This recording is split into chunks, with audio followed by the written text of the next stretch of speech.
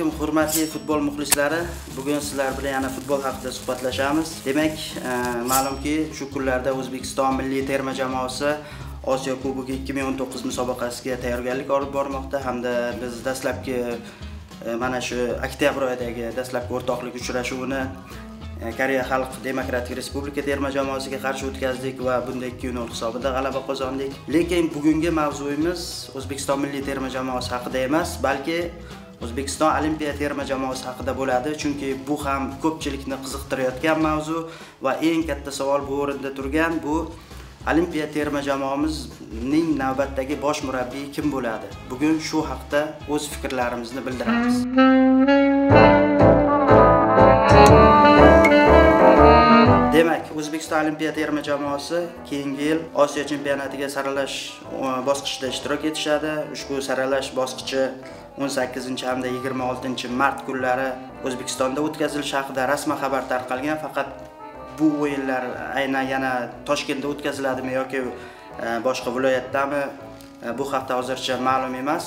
E, muhimi shuki bizning mamlakatda bo'lib o'tadi saralash bosqichi va saralash bosqichida muvaffaqiyatli o'tgan terma jamoalar 2020 yil Tailandda bo'lib o'tadigan 23 yoshgacha bo'lgan futbolchilar o'rtasidagi Osiyo chempionatiga yo'llanma olishadi. Osiyo chempionatida keyinchalik ishtirok etadigan agar e, nasib qilib biz saralash o'yinlarida muvaffaqiyatli o'tsak, o'z-o'zidan Osiyo chempionatiga boramiz hamda 2020-yil Tailandda bo'lib o'tadigan Osiyo chempionatida bu musobaqa yanvar oyida o'tkaziladi. Musobaqa yakunlariga ko'ra 1-ikkinchi hamda 3-o'rinni egallagan terma jamoalar Olimpiada o'yinlariga to'g'ridan to'g'ri yo'l olishadi. Yaxshi bilsangiz kerak, Olimpiada musobaqasi navbatdagisi 2020-yil Tokioda bo'lib o'tadi va agar 23 yoshgacha futbolchilar o'rtasidagi Osiyo chempionatida Yaponiya ishtirok etadigan bo'lsa, Yaponiya konkursdan tashqari qatnashadi. Ya'ni Yaponiya qanday natija qayd etishidan qat'iy nazar, Olimpiada o'yinlari musobaqasi bo'lgani uchun bu jamoalarning natijasi hisobga olinmaydi. Masalan, Yaponiya chempion bo'lib qolsa, unda e, Osiyo uchun 4 ta yo'llanma beriladi. O'z-o'zidan bittasi Yaponiyaga tegishli va qolgan 3 ta yo'llanma egasi aniqlanadi. Bular aytaylik, ikkinchi o'rin egasi, shuningdek, 3-o'rinni qo'lga kiritgan jamoa hamda 3-o'rin kechgan bahsda mag'lub bo'lgan jamoa.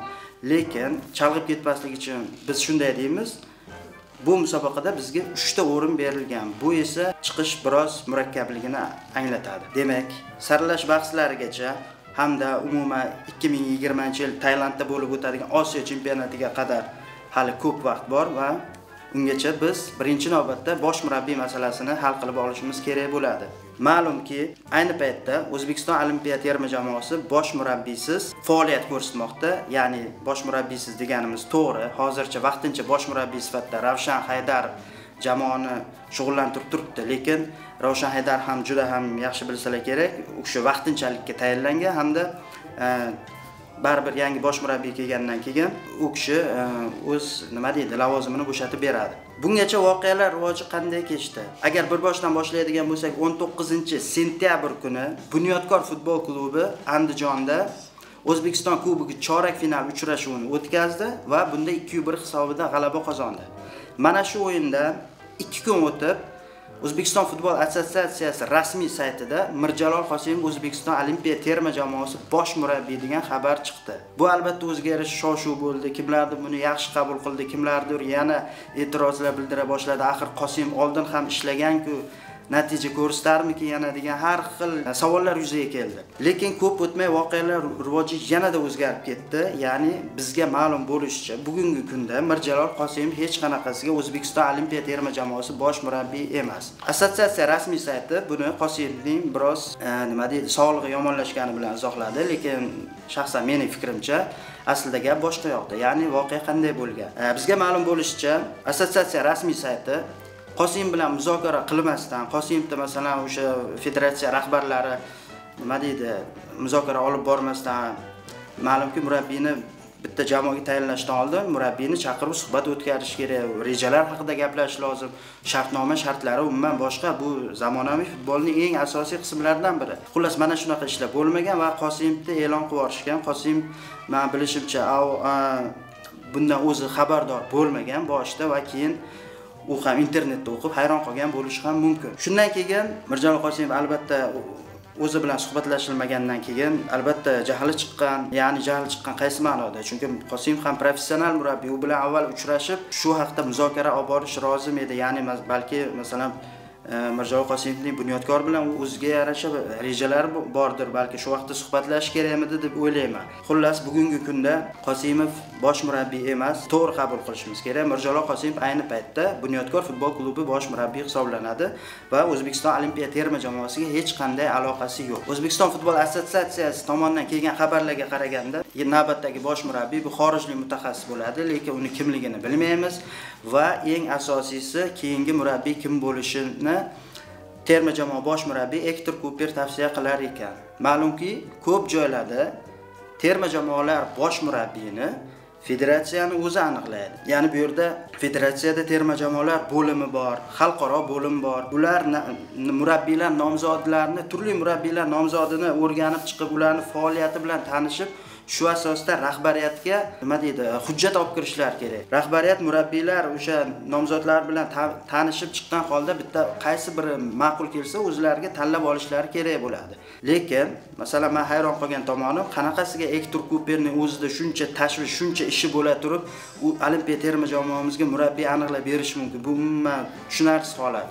Ektor kuper uchun eng asosiy vazifa bu osiyo kubogi 2019 o'ylash va undan keyin jahon chempionat saralash bahslari haqida bosh qotirish ya'ni olimpiya terma jamoamiz haqida e, bosh qotirish uning ishiga kirmaydi. Buni to'g'ri qabul qilish kerak. Olimpiya terma jamoamizning haqida o'ylash esa birinchi navbatda assotsiatsiyaning ishiga kiradi. Ya'ni o'sha xalqaro bo'lim deymiz yoki terma jamoalar bo'limi. Mana shu bo'limlar shug'ullanishi kerak.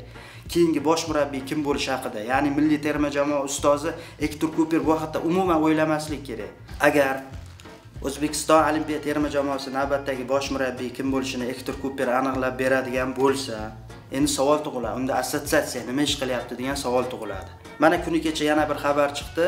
11 oktyabrdan mana shu olimpiya terma jamoamiz yig'in boshladi va bu yig'inga yana ravshan haydar vaqtincha bosh murabbiy etib tayinlandi. Man to'g'risi mana shu xabarni o'qib hayron bo'ldim. Man ravshan haydarovning bilimi tajribasi umuman malakasiga umuman e, shubha qilmagan holda bu murabbiy biroz o'sha osiyo o'yinlaridan keyin tanaffus olsa kerak deb o'ylagandim. Bunga sabab o'sha musobaqaning chorak finalida biz janubiy koreyaga yutqizganimizdan keyin video murojaati bo'ldi. Unda ravshan haydarov ya'ni faqat bir shaxs ya'ni umid ahmadjonovdan kechirim so'ragan yoniga to'rt nafar futbolchini e, terib olib bu juda g'alati bo'ldi. Bunaqasi o'zbek futbol tarixida hali bo'lmagandi biz agar tushunardik ravshan haydarov masalan Ehm, muxlislardan kechirim so'raganda xalqdan kechirim so'raganda biz tushunadi lekin aynan bir shaxsdan kechirim so'ralishi bu umuman kutilmagan holat. Juda bir yoqimsiz video bo'lib ketdi. O'ylaymanki ravshan haydarov ham qanchalik xato ish qilganini tushunib yetgan va aynan mana shu voqeadan keyin bu murabbiy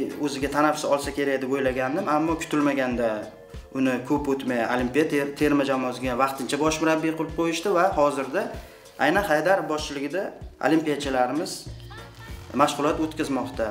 Lekin biz bilamizki sentyabr oyida xitoyda bo'lib o'tgan xalqaro musobaqada jamshid saidov boshchiligida borgan jamoa birinchi o'rinni olib qaytgandi va toki yangi bosh murabbiy tayinlanganiga qadar rasman u ya'ni u keyingi murabbiy chet ellik bo'ladimi yoki o'zimizdanmi ehtimol aynan jamshid saidovga jamoani qoldirib turgan ma'qul edi. Chunki e, jamshid aka saidov bu jamoa bilan xitoyda ishladi birga. Masalan xalqaro turnirda chempion bo'lib qaytdi va bolalarni ko'proq yaqindan bilardi. To'g'ri ravshan haydarov ham yaxshi biladi bu yoshdagi bolalarni lekin aytib o'tganimizdek o'sha video murojaat tufayli biroz yoqimsiz holat yuzaga kelganda haydarov futbolda biroz tanaffus olsa manimcha yomon bo'lmasdi. Bu olimpiya jamoamizni esa aynan jamshid saidovga topshirib turgan ma'qul edi. Nima bo'lgan taqdirda ham hozir olimpiya terma jamoamizda hech qanday rasmiy bosh murabbiy yo'q. U keyinchalik kim bo'ladi? Ispaniyalikmi argentinalikmi yoki umuman o'zimizdan bo'ladimi? Bu haqda hali hech narsa bilmaymiz lekin shuni unutmaslik kerakki olimpiada o'yinlari 2020 yil jahon chempionatidan oldin o'tkaziladi va biz bu haqda yana ham ko'proq bosh qotirishimiz kerak bo'ladi. Chunki mavsum endi boshlangan paytda saralash o'yinlarini o'tkazamiz. Agar saralashdan muvaffaqiyatli chiqsak keyin osiyo chempionatiga boramiz va buning uchun bizga juda ham tajribali murabbiy kerak bo'ladi. Agar assotsiatsiya xuddi hozirgi holatda murabbiylar navbat bilan almashtirib vaqtincha vaqtincha vaqtincha deb tayinlab boraversa o'z o'zidan bosh murabbiy qachon keladi va qachon olimpiya terma jamoamiz bilan jiddiy maqsadlar sari aniq kurashamiz? Mana shu savol hali ham ochiq turibdi. O'ylaymizki tez orada assotsiatsiya tomonidan ushbu savolga rasman javob beriladi va biz muxlislarga yoqadigan xushxabarlarni kutib qolamiz. Xayr salomat bo'ling